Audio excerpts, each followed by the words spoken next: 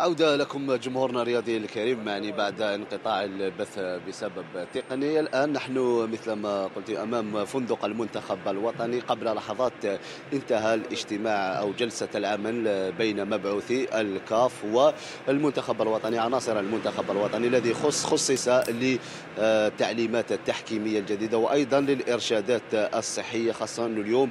تم شرح للاعبين أن كل منتخب يملك 11 لاعبا يمكنه لعب المباراة حتى في حال إصابة كل باقي اللاعبين وحتى في حال إصابة الحراس الثلاثة يمكن الاستعانة بلاعب ميدان ليكون حارسا للمرمى. بالنسبة أيضا للتصريحات أكدوا أن التصريحات والاختلاط ممنوع مع وسائل الإعلام. باستثناء المناطق المخصصة لذلك في الندوات الصحفية أو المناطق المختلطة بعد اللقاءات.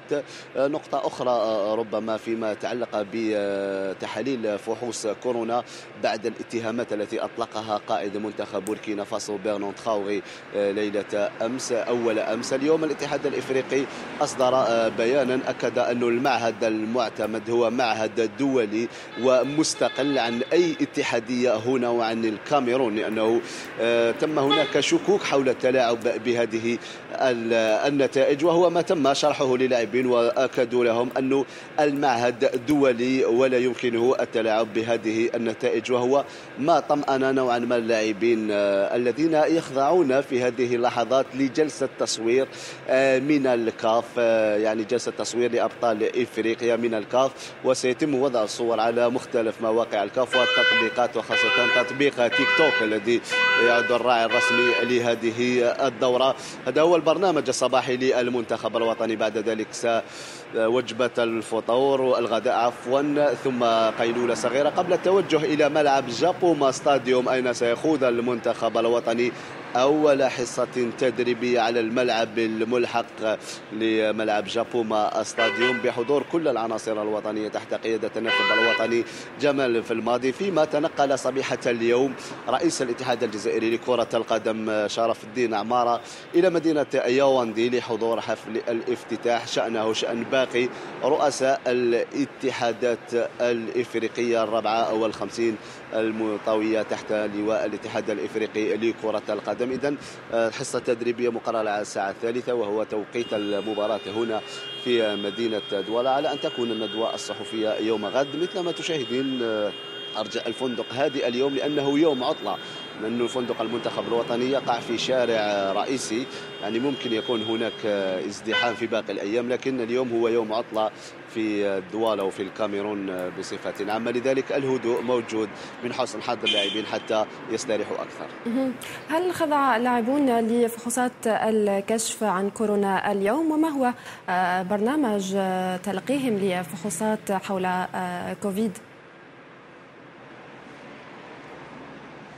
لا المنتخب الوطني خضع للتحاليل اليوم أمس في مطار الدوحة قبل وصوله إلى هنا والتحاليل يعني معروفة أنها 24 ساعة و72 ساعة لل PCR يمكن حتى أن تكون ب 48 ساعة و72 ساعة. سيخضع لتحاليل جديدة ليلة يوم غد يعني قبل المباراة. في صبيحة يوم غد وتصدر النتائج في المساء. ونتمناها إن شاء الله أن تكون سلبية لعناصر المنتخب الوطني. هذا هو النظام المعمول به هنا يعني. يعني 24 ساعة قبل المباراة تكون فيه نتائج تحاليل إلا في حال وجود حالة مشتبهة أو ربما بعض الأعراض على بعض الأفراد يكون هناك تحاليل تحاليل يعني في أوقات متقطعة. لكن المعمول به هو يوم يوم 24 ساعة قبل اللقاء تكون إجراءات تحاليل فحوصات كورونا.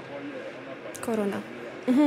ما الجديد أيضا بخصوص غياب اللاعب طهرات عن المنتخب وعدم تنقله أمس مع آه، المنتخب الوطني إلى دوالا نعم آه، مهدي طهرات كان الغائب الوحيد في صفوف اللاعبين عن سفرية دوالا بسبب آه، نتائج فحوصاته التي كانت إيجابية قبل التنقل إلى دوالب بقي في الدوحة أين سيخضع للحجر الصحي؟ آه، ربما ثلاثة أو أربعة أيام سيلتحق مباشرة بالمنتخب الوطني. شأنه شأن مساعد الناخب الوطني سيرج غومانو الذي بقي في الدوحة بعد ثبوت إصابته بالفيروس. نتمنى لهما الشفاء وسيلتحقان مباشرة بعد آه، بعد يعني خروجهما أو شفائهما نتمنى أن لا يؤثر غيابهما عن المنتخب الوطني خاصة لأن سيرج غومانو هذا التقني وهذا الذراع الأيمن للناخب الوطني جمال بالماضي آه، في المباراة الأولى لسيدي ستكون بعد غد إن شاء الله. آه، نقطة أخرى أيضا كمال ستكون هناك ندوة صحفية يوم غد للناخب الوطني جمال بالماضي لا تعطينا أكثر تفاصيل. نعم في الساعة العاشرة هكذا بقاعة الندوات لملعب جابوما ستاديوم الذي يبعد ب 20 كيلومتر يعني من مقر إقامة المنتخب الوطني يعني يحتاج إلى حوالي 25 دقيقة المنتخب الوطني للوصول من هنا من الفندق إلى ملعب جابوما الذي يقع خارج مدينة دوالا يعني بحوالي 20 كيلومتر. سيجري الناخب الوطني ندوة صحفية سيكون مصحوبا بها بأحد اللاعبين سيتم الإعلان عن اسمه آه، لاحقا. بعد ذلك سيخضع سيخضع ناصر إلى حصة تدريبية آه، في ملعب آه، جابوما وبعدها تكون ندوة صحفية لمنتخب سيراليون الذي سيجري أيضا حصة تدريبية آه، هناك. هذا هو برنامج يعني بالنسبة ليوم آه، ليوم غد. لذلك يعني كل الأمور يعني في الفندق يحاولون يعني عزل لاعبي المنتخب الوطني عن الغرباء عن الجميع. يعني شاهدت يوم أمس يعني حين وصول اللاعبين كان هناك مجموعة يعني من الكاميرونيين من أيضا من بعض الجزائريين لمحاولة أخذ صور للاقتراب من اللاعبين. لكن عناصر الأمن التي رافقت بعثة المنتخب الوطني كانت تؤدي في عملها وتمنع محاولة أي اقتراب من اللاعبين وذلك للحفاظ على صحتهم. وهذا ما يجب أن يفهمه المناصر الجزائري المتواجد هنا أنه صحيح أنك الكل يرغب في أخذ صور لكن أن تفهم أن صحة اللاعبين ومصلحة المنتخب الوطني هي أولى من أخذ صورة تذكارية.